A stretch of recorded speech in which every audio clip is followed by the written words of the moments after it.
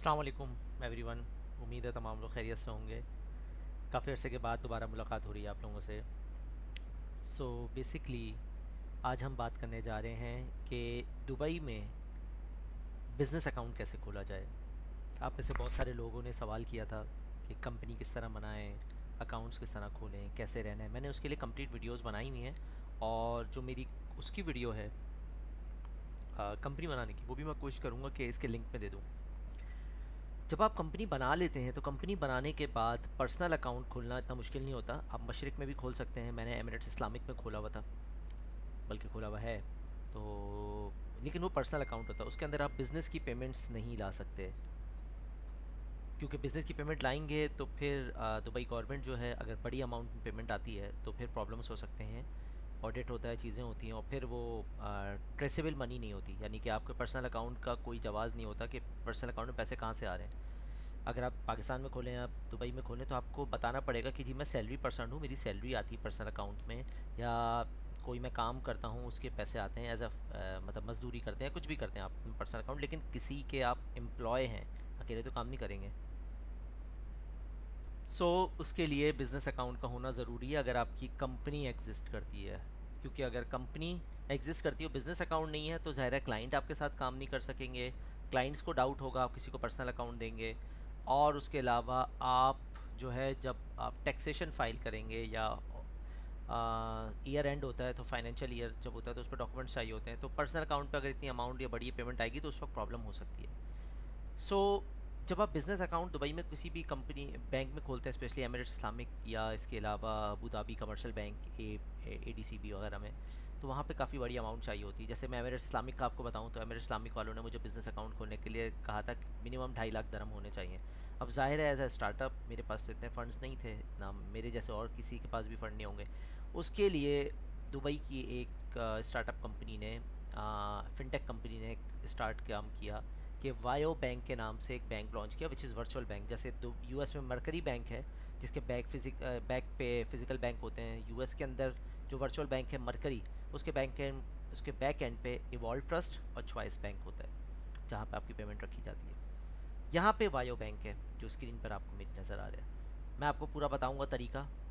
कि कैसे इस्तेमाल करते हैं, क्या है। मैं साइनअप का प्रोसेस नहीं बताऊँगा साइनअप का प्रोसेस बहुत आसान है, लेकिन मैं आपको बताऊँगा कि इसके अंदर काम कैसे होता है कौन कौन से डॉक्यूमेंट्स दिए जाते हैं, क्या चीज़ें हैं, ये सारी चीज़ें आपको इंशाल्लाह ताला इसमें नज़र आइए तो चलिए स्टार्ट करते हैं। इसको लॉगिन कर लूँ पहले। ये मैंने लॉगिन किया है। ये इसने मेरे फ़ोन नंबर पर जो है, वो कोड इसका सेंड किया है। अब वो फ़ोन नंबर पर जो कोड आया, वो मैं इस पर डालूँगा। फ़ोन नंबर पर मेरा कोड आ गया है।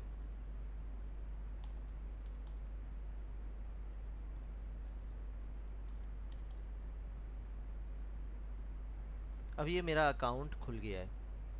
ये लॉगिन हो रहा है। ये मेरी डेस्कटॉप ऐप है। इसकी मोबाइल ऐप भी मौजूद है और इसको आप वेब पे लॉगिन भी कर सकते हैं, लेकिन मैंने अभी आपके सामने डेस्कटॉप ऐप खोली हुई है, क्योंकि मैंने अकाउंट कॉन्फ़िगर किया हुआ था। तो जब आप पहली दफ़ा वायो अकाउंट बनाते हैं साइन अप करते हैं तो यूज़र नेम पासवर्ड के बाद अभी ये अकाउंट में मेरे अमाउंट मौजूद है। जब आप अकाउंट में फ़र्स्ट टाइम साइन अप करते हैं, पहली दफ़ा अकाउंट बनाते हैं तो डॉक्यूमेंट्स मांगेगा। वो डॉक्यूमेंट्स नॉर्मली कौन कौन से होते हैं, वो पहले मैं आपको दिखा दूँ, ताकि आपको फिर आसानी रहे। आगे बढ़ने में, क्योंकि जब तक वो डॉक्यूमेंट्स क्लियर नहीं होंगे, आप आगे जा नहीं सकते हैं। सो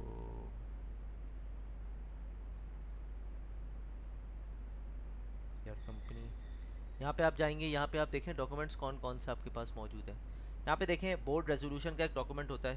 प्रूफ ऑफ़ एड्रेस का आपको डॉक्यूमेंट यहाँ देना होता है, जहाँ पे आपका एड्रेस वगैरह है। मेमोरेंडम ऑफ़ एसोसिएशन का और ट्रेड लाइसेंस जो होता है, इनके डॉक्यूमेंट्स आपको यहाँ देने पड़ते हैं। अदरवाइज़ आपको, आपकी कंपनी नहीं खुलेगी। आपका बिज़नेस अकाउंट यहाँ पे ओपन नहीं होगा।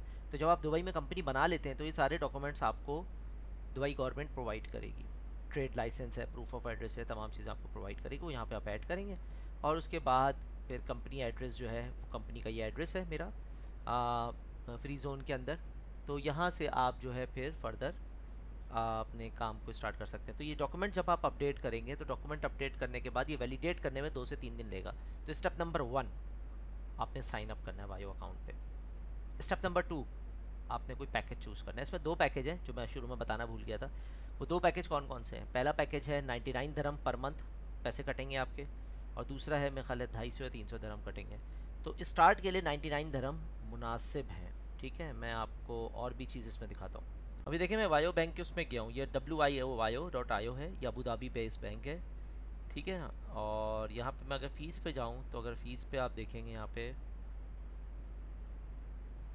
यहाँ पे देखें फ़ीस आ रही है वायो बिज़नेस और वायो पर्सनल पर्सनल खोलने की ज़रूरत नहीं है। पर्सनल आप एम इस्लामिक खोल लें या वायो पे भी खोल सकते हैं, ये आपके ऊपर है। लेकिन असल हम यहाँ बात करें बिज़नेस अकाउंट की, क्योंकि बिज़नेस अकाउंट में चैलेंजेस आते हैं। सस्ते अकाउंट आपके पास दुबई में बिज़नेस अकाउंट जो है ना, दो से तीन जगह ही खुलते हैं। उसमें एक मशरक बैंक है और एक वायो है। मुझे वायो किसी ने रिकमेंड किया था, मुझे पसंद आया, मैंने खोला अलहमदिल्ला बेहतरीन काम करा है। तो वायो बिज़नेस पर मैं जाता हूँ, ये देखें दो हैं एसेंशियल एंड ग्रो मैंने एसेंशियल खोला हुआ है। एसेंशियल में इंटरेस्ट ऑन सेविंग स्पेस कुछ भी नहीं है। ठीक है ना? Salary payments one free file per month है आपके एक या दो एम्प्लॉयज़ अगर हैं स्टार्टअप कंपनी में कोई भी नहीं है, तब भी ये चल सकता है। दो यूज़र यानी कि आप और आपका अकाउंटेंट आप दो यूज़र के तौर पे चल सकते हैं। तो मुझे दो यूज़र की ज़रूरत थी, मेरा अकाउंटेंट और मैं, वो हम यूज़ कर रहे हैं। स्विफ्ट इंटरनेशनल ट्रांसफ़र के लिए आप देखें 52 दरम पर ट्रांसफ़र चार्ज करेगा अगर आप इंटरनेशनल ट्रांसफ़र करेंगे। 52 दरम का मतलब ये होता है कि तकरीबन ये आपसे कोई 15 डॉलर के करीब चार्ज करेंगे अप्रॉक्सीमेट ये। A D to U exchange rate आपको गारंटीड मिलेगा थ्री पॉइंट विच इज़ जो पिछले पच्चीस तीस साल से लॉक है। तो इसमें ये अच्छी बात है। मंथली फ़ीस इसकी है ninety nine dollar per month तो अगर पूरे साल भी मैं इस अकाउंट को यूज़ करूँ तो मुझे कितने पैसे देने होंगे? मुझे 1200 से भी कम देना पड़ेगा, मुझे देना पड़ेगा एलेवन एट्टी एट रुपीज़ जो कि बहुत मुनासिब है। तीन सौ, चार चार सौ डॉलर के करीब कुछ बनते हैं। ठीक है? तो विच इज़ गुड तो मुझे, मैंने इसलिए इसको चूज़ किया क्योंकि बकिया जगहों पर बैंक फ़ीस और चीज़ें तो थी। उसके अलावा एक लाख डॉलर दो लाख डॉलर ढाई लाख डॉलर का मिनिमम कैपिटल मांग रहे थे जो कि पॉसिबल नहीं था। तो वायो दैट्स वाई कि बहुत आसान है इसको यूज़ करने में। वापस आते हैं। इसमें देखें कंपनी है, मेरी यहाँ टीम है, मैं टीम बना सकता हूँ। यहाँ पर मैंने दो बंदों को अपने आप को ऐड किया हुआ है। अकाउंट्स के अंदर रेफरल कोड है मंथली स्टेटमेंट आप निकाल सकते हैं यहाँ से। अकाउंट डिटेल्स आपकी पूरी निकल सकती है यहाँ से। ठीक है ना पासवर्ड चेंज कर सकते हैं और भी इस तरह की बहुत चीज़ें यहाँ पर मौजूद होती हैं आपके पास। यहाँ पे आप इन्वाइसेस बना सकते हैं कस्टमर के लिए। एक अच्छी बात यह है कि इसकी मदद से फ्री स्ट्राइप अकाउंट खुल जाता है आपका। स्ट्राइप अकाउंट के अंदर जो डॉक्यूमेंट्स वगैरह चीज़ें चाहिए होती है ना, वो बड़ी आसानी से वेरीफाई हो जाती हैं। अगर आप इसकी मदद से खोलते हैं, क्योंकि इसी के अंदर इंटीग्रेशन होती है स्ट्राइप की। मैं आपको दिखाता हूँ, शायद इसने अटैच किया हो मेरा स्ट्राइप नीचे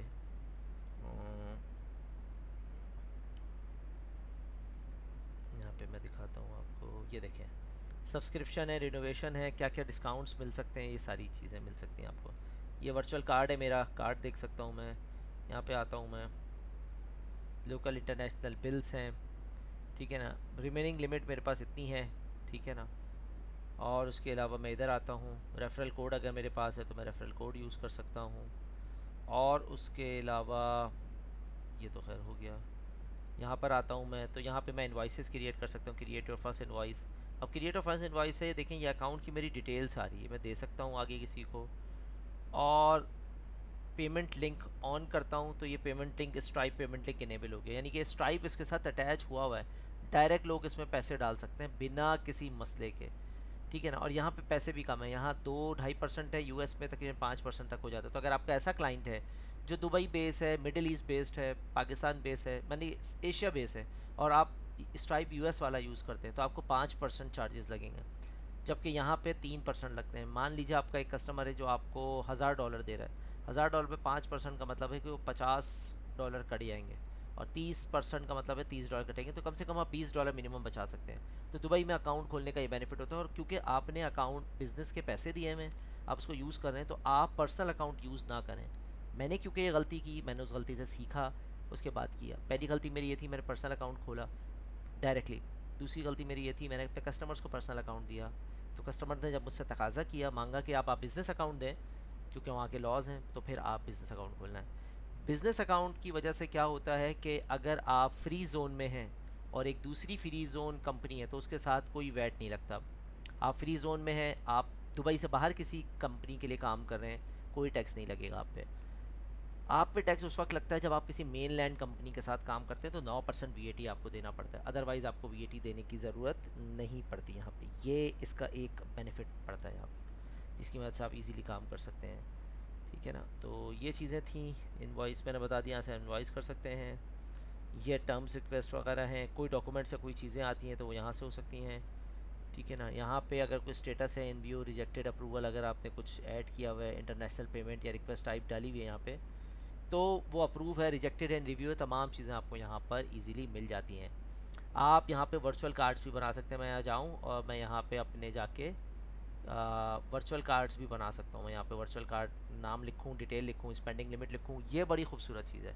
वर्चुअल कार्ड का फ़ायदा ये होता है कि मैं किसी भी जगह जाके जैसे मैं अमेज़ोन पे काम कर रहा हूँ गूगल पे कर रहा हूँ, किसी क्लाउड या किसी भी प्लेटफॉर्म पे कर रहा हूँ, वहाँ मुझे कार्ड्स देना है विद लिमिट मैं ये कार्ड दे सकता हूँ, उस पर एक दो डॉलर सेट कर दूँ और लिमिट दे दूँगा।